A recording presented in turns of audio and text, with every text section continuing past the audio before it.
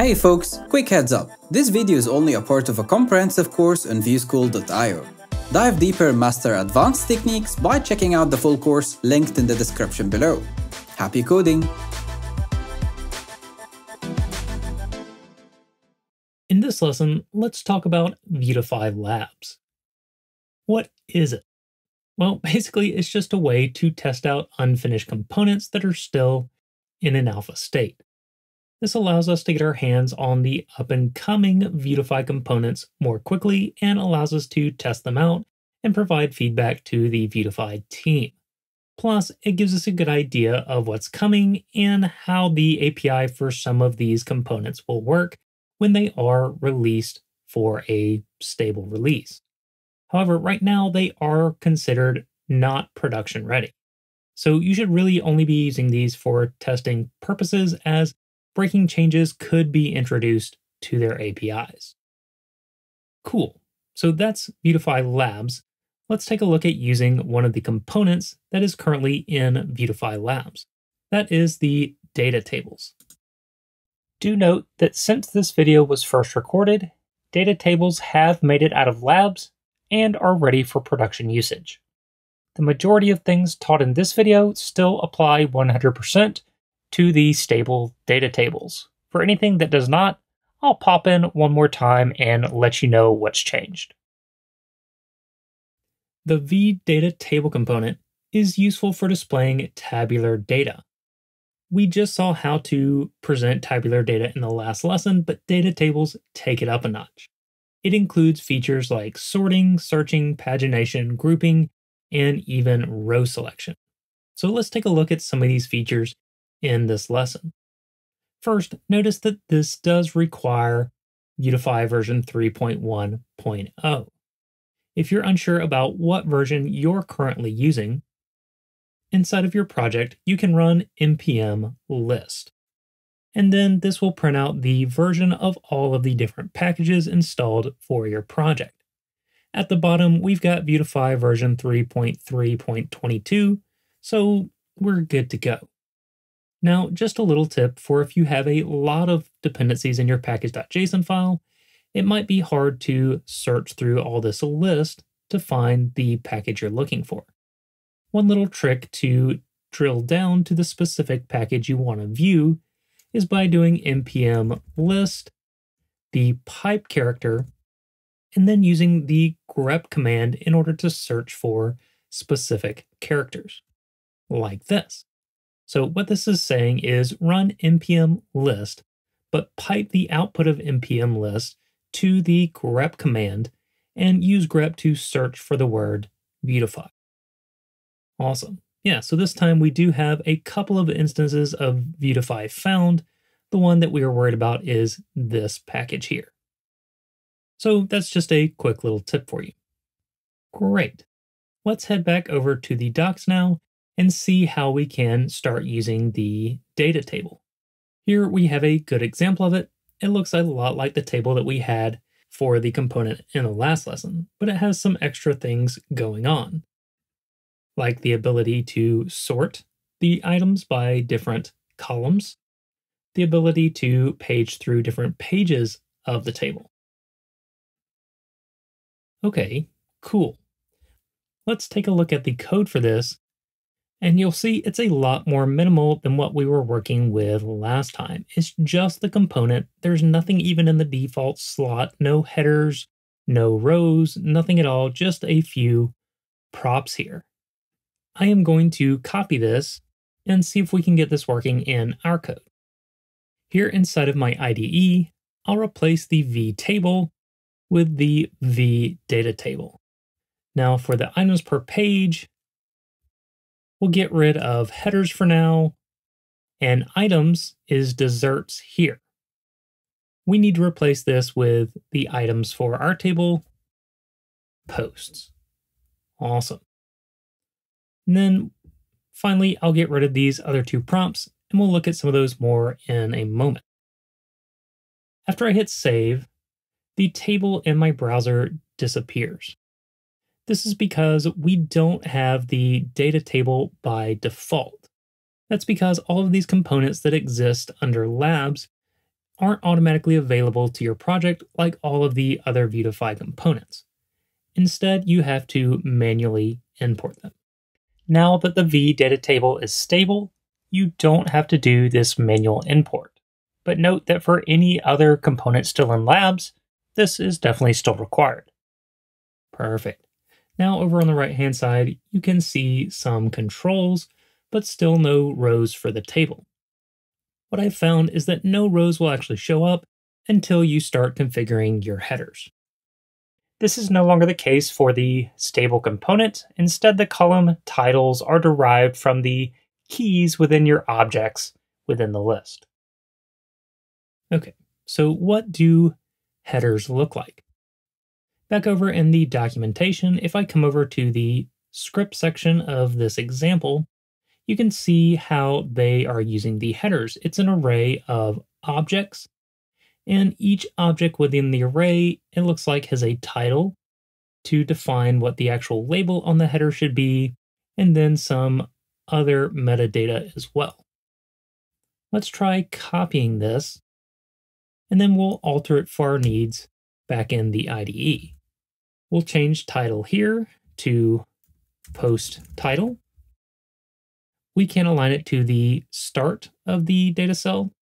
For now, we'll leave sortable false. You'll see how that works in a moment.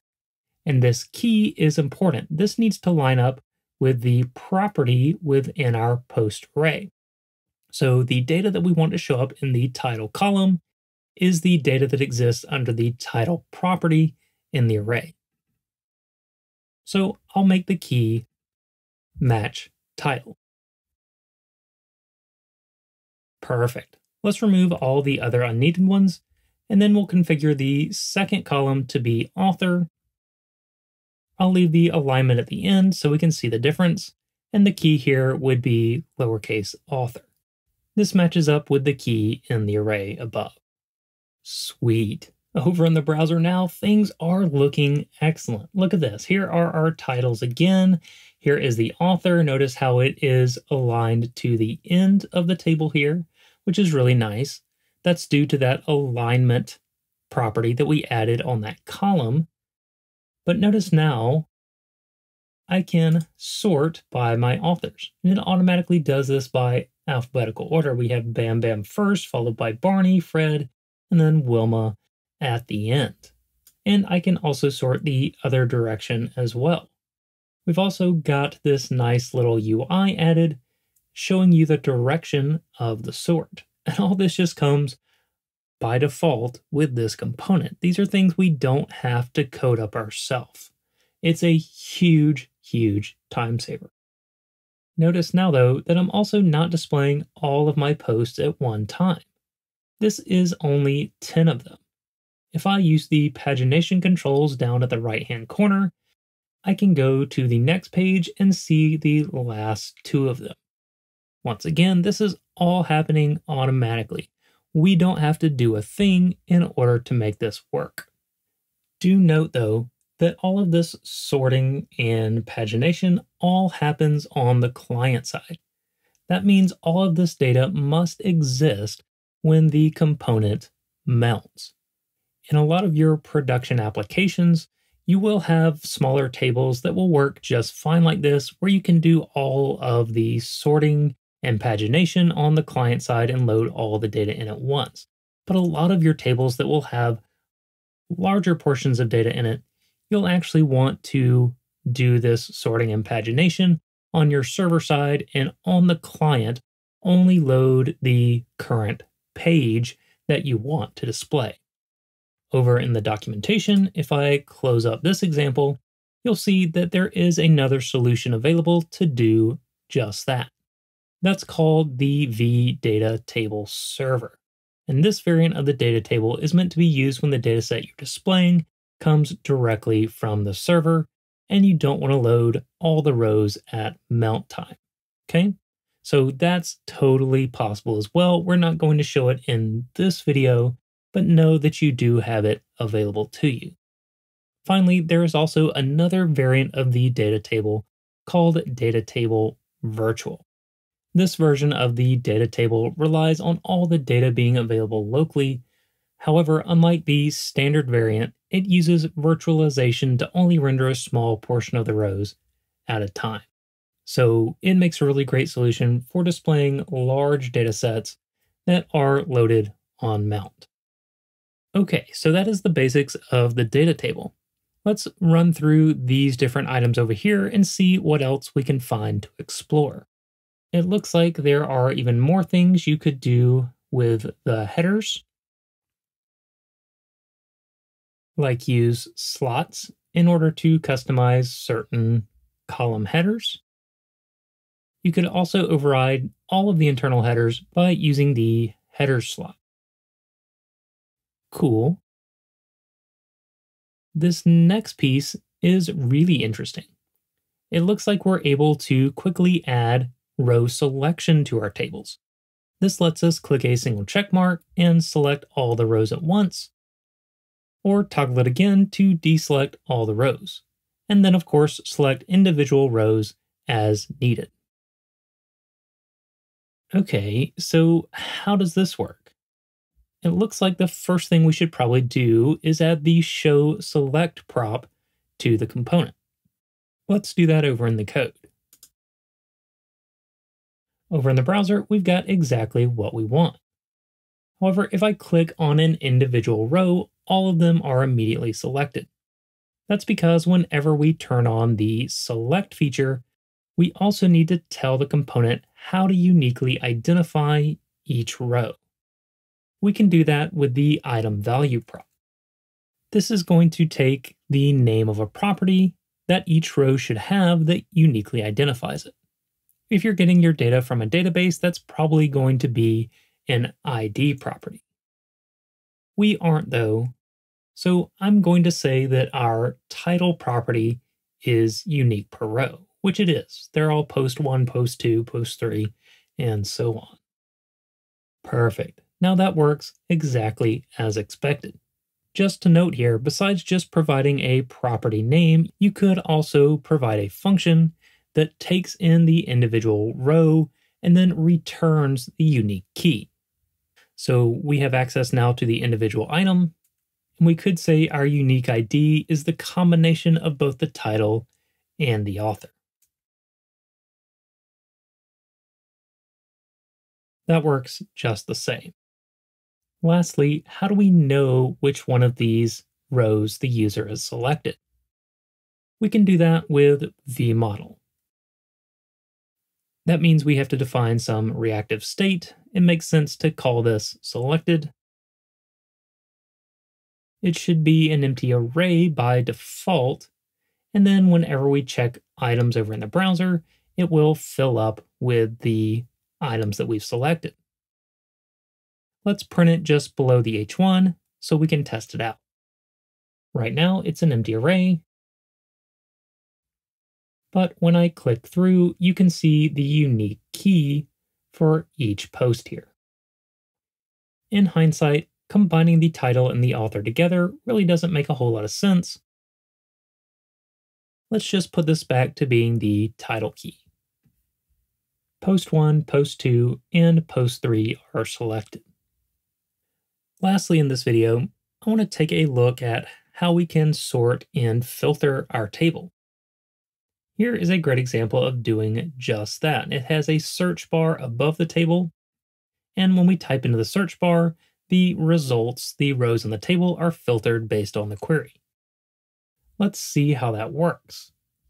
It looks like we just have a v text field here, which we'll talk about in a later lesson. It has a v model on it, which references some search data. If I look in the script section here, you can see that the search data is just an empty string by default. For us, basically, that's going to be an empty reactive ref. Then on the data table, we just pass in the search property, pointing it to that search reactive data. Great. Let's copy this text field here, and then we'll do the same thing in our code. I'll put the text field just above the table. We can move the printout of the selected since we're done with that. And then I'll define the search reactive data. Lastly, let's pass it into the table. When I search for Wilma now, sure enough, we get just the post that Wilma has written. I could also search by any other column I'd like, so let's go for 4, and it filters down to just post number 4. In conclusion, the data table is a really powerful alternative to the regular table component in Vuetify. Just remember that currently it is still considered experimental as it is in the labs portion of Vuetify's components.